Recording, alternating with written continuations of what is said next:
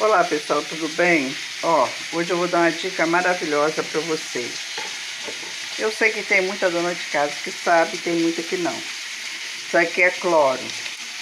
Usamos muito na limpeza cotidiana. Eu vou usar aqui em casa na pia.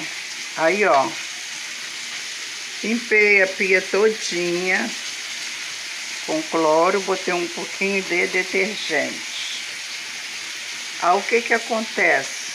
Quando você, aí ó, passa a mão, não tem problema, ó. Passa a mão, para tirar o excesso para depois limpar.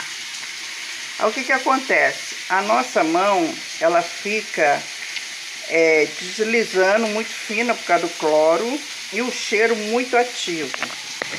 Aí o que que você vai fazer? Olha só. Vinagre, seja o vinagre que for. Acabou de usar o cloro, pega o vinagre, passa nas mãos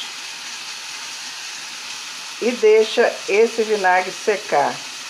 Depois, quando você vê que o, vinagre secou, já escorreu um pouquinho, você cheira a mão, não tem uma gota de cheiro de cloro ou de sanitária ativa.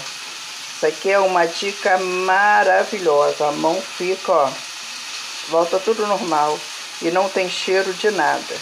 Valeu? Agora você já sabe.